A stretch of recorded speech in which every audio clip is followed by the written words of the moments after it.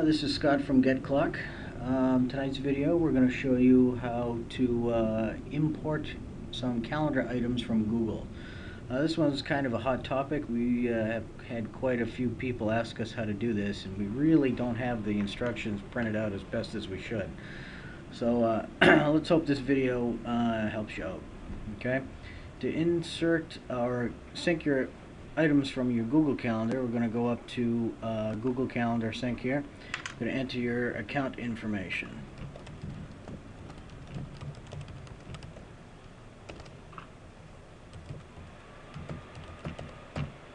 Okay, if you have uh, Google Apps versus a Gmail calendar, you may or may not have to use its HTTPS options.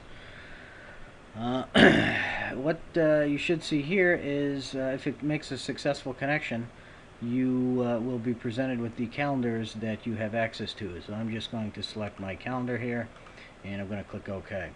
Now the my Google Calendar items, if uh, you take a look at my actual calendar, I have three items for this week.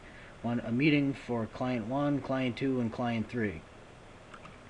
And when I do my sync, I see I have my client meetings for 1, 2, and 3. and You notice that they're in white because these are kind of temporary placeholder items.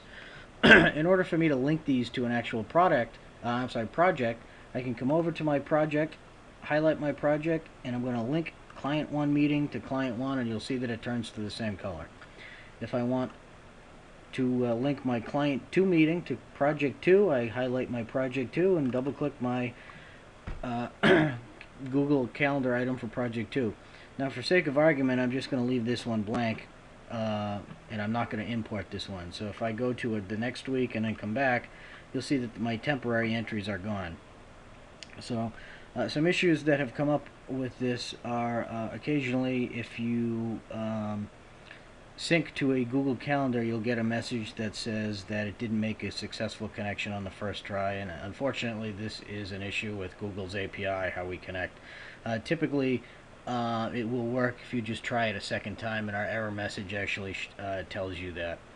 Uh, another thing to note is that this is a full version of Klok Feature, so if you do have the uh, free version, uh, you will not be able to sync your calendar to Google or Exchange unless you upgrade to the uh, Pro version.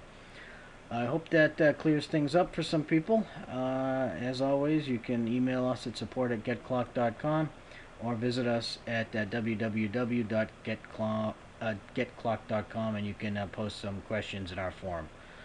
Thanks, that's it for now.